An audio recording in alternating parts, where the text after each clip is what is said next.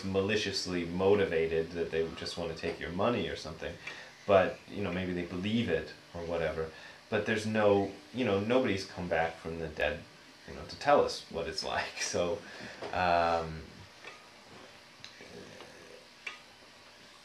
I don't know the, the the focus in in so so focusing on that reincarnation stuff um, doesn't seems to be you know com- completely missing the point is my take on it. But yeah, it is a big you know it's a big difference between uh, Tibetan style Buddhism and, and Zen in that you know they're very open about it. But I think we also relate to you know stuff like karma and that. Yeah. You know, it, it, it ties in with those kind of things as well. Well, cause and effect, you know. Um, I mean that that's a whole other topic, but uh, but the you know that story about the guy who was born five hundred lifetimes as a wild fox and all that. Um, the the um, actually uh, Sasaki's version of that uh, says uh, says uh, the, um, the the truth of cause and effect are shining as clear as noonday. I think it's the one that's in his book. Um, which I always like that idea. But um, this guy is wondering about cause and effect after he's been, you know, he, he did something that, that caused him to be born 500 lifetimes as a wild fox.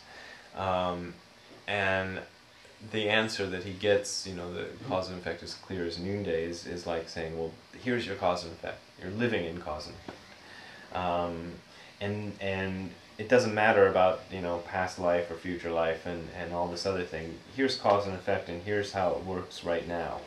And be careful what you do now because you can see how it works uh, in this moment. Um, and whatever happens afterwards, just kind of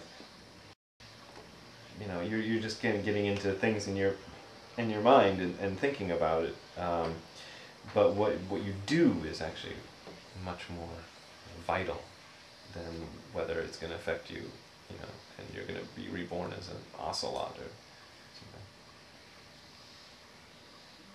something.